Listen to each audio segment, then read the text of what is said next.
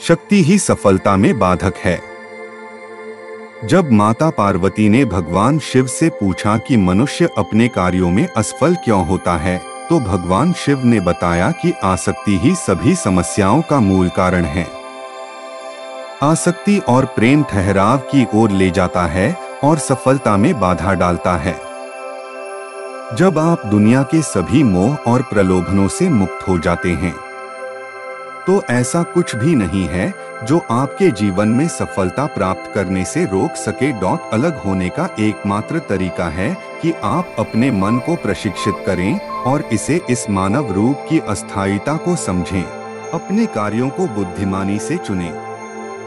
शिव ने पार्वती से कहा कि लोगों को कभी भी किसी भी प्रकार की कार्रवाई में लिप्त या संबद्ध नहीं होना चाहिए, जिसमें शब्दों, कार्यों और विचारों या मन के माध्यम से पाप शामिल हो। मनुष्य जो कुछ भी काटता है, वह उसी का फल है, जिसे उसने खुद बोया है।